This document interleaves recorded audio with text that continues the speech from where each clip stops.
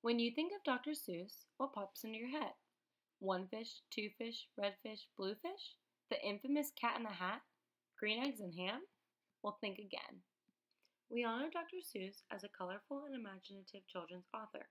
However, he originally started his intellectual adventures as a liberal propaganda publicist while World War II was approaching. This documentary will investigate how Dr. Seuss explored using literature and animation to influence a country's beliefs. Theodore Seuss Geisel decided that he wanted to help out his country. Since he was too old for the draft, he began serving in Frank Capra's Signal Corps of the U.S. Army. This introduced him to the art of animation, which later led to a series of animated training films. This is where his trainee character, Private Snafu, made his debut. Home. They got it soft back there. They don't even know there's a war going on.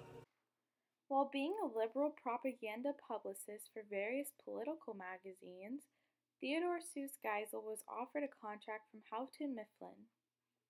They asked Theodore to write and illustrate a children's book using only 225 new reader vocabulary words and that is what led to the creation of The Cat in the Hat.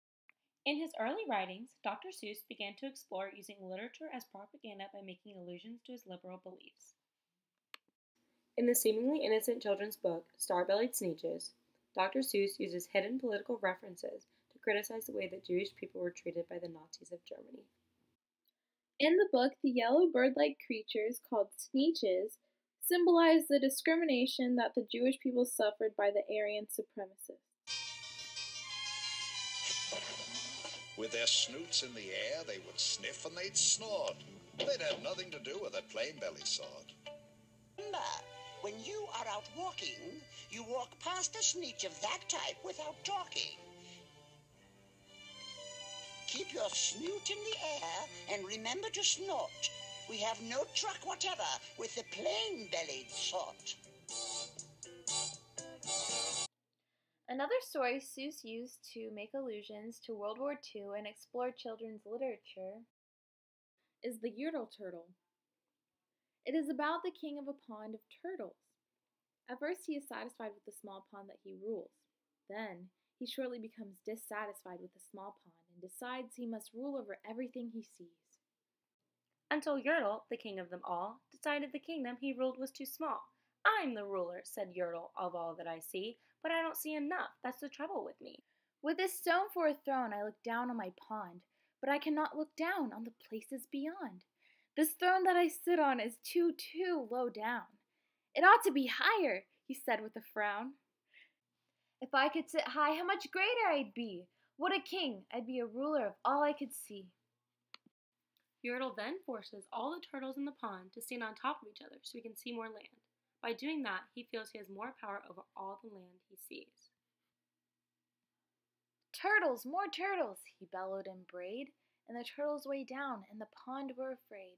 They trembled, they shook, but they came, they obeyed. In the end, the turtles at the very bottom become too weak to withstand the torture any longer and collapse, leaving Yertle the turtle to fall to nothing. The composition of Yertle the Turtle is very similar to the stigma of Adolf Hitler. Both are greedy and seek domination, so much so that they are willing to do anything and hurt anyone in their way. Aside from World War II, Dr. Seuss also wrote about other political issues and standard morals for young readers. The Lorax, published in 1971, demonstrates his views on environmental setbacks and greed in the human society.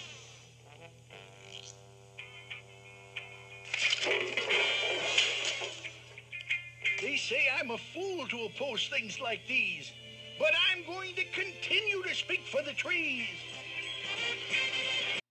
This story explores how the encounters between industry and environment could be harmful.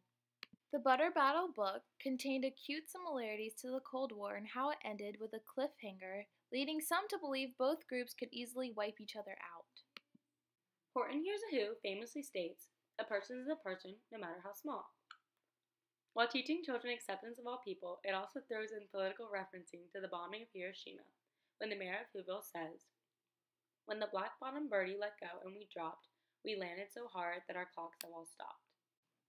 Throughout his life, he affected a wide span of people, not only bringing joy and learning to children, but also touching on global subjects to shed light on important morals and events in history. Now, with that all being said, when I say Dr. Seuss, what pops into your head? Now, this is a story all about how Ted's life got flipped, turned upside down, and I'd like to take a minute, just sit right there. I'll tell you how you can Dr. Seuss out of thin air.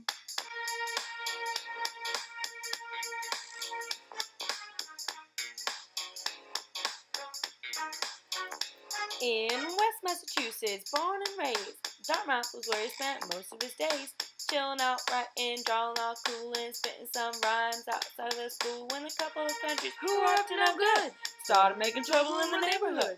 They got in a few little fights, and the U.S. got scared. So we need some propaganda, so you better be prepared. We whistled for a speech, and when it came near, he said, Horton, here's a who, and he said, Who's there? If anything, I could say that this was pretty rare, but I thought, nah, forget it. He's a multimillionaire. We pulled up to Whoville about seven or eight, and we yelled to the Grinch, "Your home, smell you later." We looked at his kingdom. We're finally there to witness Dr. Seuss, the king of everywhere.